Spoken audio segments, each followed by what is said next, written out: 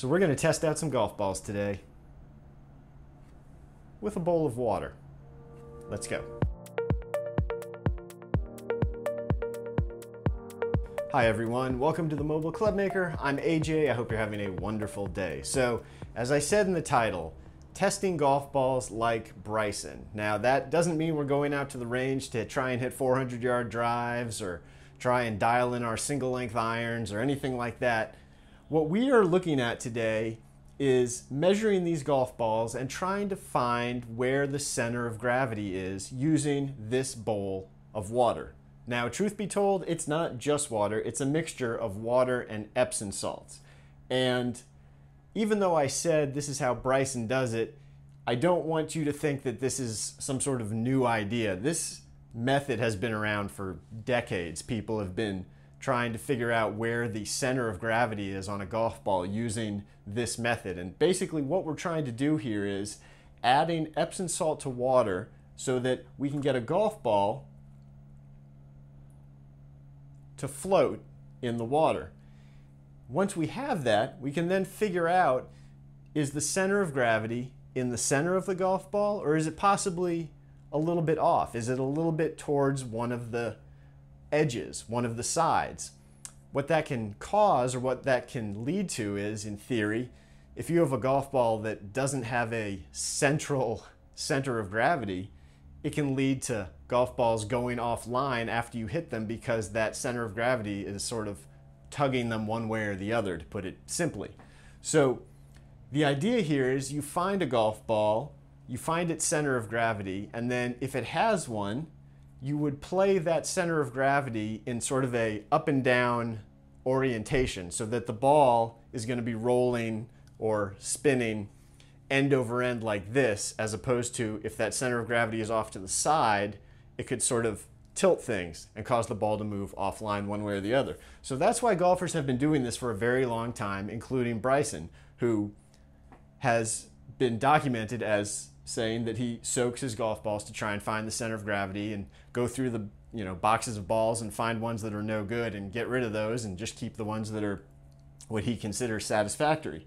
So that's what I'm going to show you today. I'm going to show you how to go through the process real quick and then we're going to do just a little test, a little competition between a few different golf balls. So I've got some Pro V1s, I've got some TaylorMade TP5Xs, and I've got some Callaway Chrome Soft. Uh, these are yellow, but same as the white version. Okay, so what do you need for this and what do you need to prepare the water solution? Well, the solution is very simply just two parts water for every one part Epsom salt. You can use whatever size container you want as long as it's big enough to fit a golf ball. So in this bowl, I think I've got about two cups of water and one cup of Epsom salt. Uh, warm water or hot water is going to be better just because it's quicker in dissolving the Epsom salt. If you do it with cold water, you're going to be stirring for a while. I'm also going to be using a Sharpie so I can put a point, put a dot on where the supposed center of gravity is showing up. So what's basically going to happen when you do this is the heaviest part of the golf ball is going to want to sink towards the bottom. And so the heaviest point will drop to the bottom then we're going to put a dot on the opposite pole of the golf ball, and that's going to tell us sort of the axis, the axis where you have the center of gravity. Okay, so I had the full intention of doing this sort of test, this sort of competition between these three golf balls in one way, which was I was going to take each of the golf balls, put them in the water, let them come to that natural resting position where the heaviest point was down, put the dot on it, and then basically take the ball again and sort of put it in maybe at 90 degrees to that position or 180 degrees to that position. Pick one of those depending on how long it takes. And basically set it in there and time it and see how long it takes for it to go from that position back to that natural resting position with the heaviest point down. I would time each of them and then taking all that information, that would sort of tell me, you know, how out of balance these golf balls were because my thinking being the heavier sided a golf ball is, the more the center of gravity is off, the more that weight is moved to one particular area, the faster that ball is going to want to return to that area when it's sitting in the floating in the water. If the ball is more centered, if the center of gravity is right there in the middle, well then it's going to take much longer for that ball to sort of work its way back to that natural that natural uh, resting point. So in that way, that would tell us, well, if it moves really quickly, that ball obviously is a little more out of round, a little more out of round as far as center of gravity goes. If it takes a long time, that means that ball's center of gravity is much more centered. What I quickly realized when I started doing some just sort of tests on this just to get my bearings was I have underestimated how good these golf balls are because what I ended up doing was putting the golf ball in, getting that dot, going back, turning it a little bit, putting it in again. And what ends up happening is the ball doesn't go back to that same dot. It doesn't go to that same resting position. It moves to different resting positions. So what that tells me is, well, the center of gravity is obviously a lot better than I was thinking. However, I think we can still sort of try and figure out, even that being the case, if there is a, a you know, noticeable difference in the center of gravity between these balls. So what we're going to do instead is I'm going to do the same basic process, only we're basically just going to take each ball. I'm going to do two balls from each of these three sleeves. We're going to drop each of them in randomly with a little spin each time. We're going to see where they come to rest, and we're going to mark it with a dot. We're going to do it between 10 and 20 times. We'll see how the dot pattern is looking as we go, but we'll do each of them the same number of times.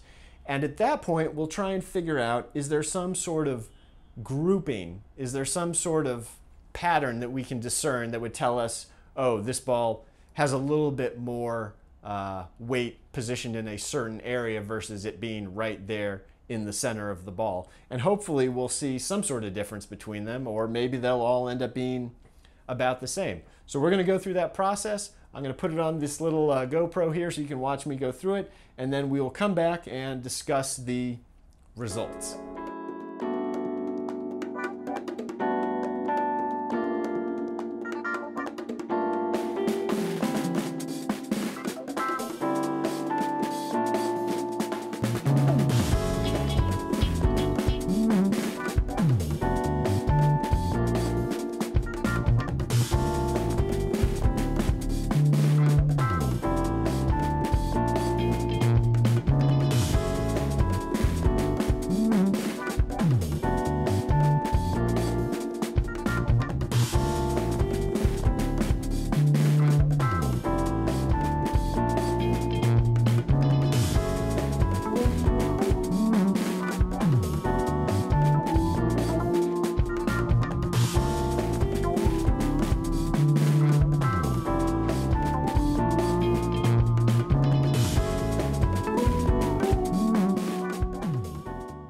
Okay, so we just finished giving all these golf balls a bath, and the results were, I'm going to say, pretty surprising. Even though I went into this saying that I thought the centers of gravity were pretty uh, centered because the test balls that I had used didn't give me much uh, to go off of.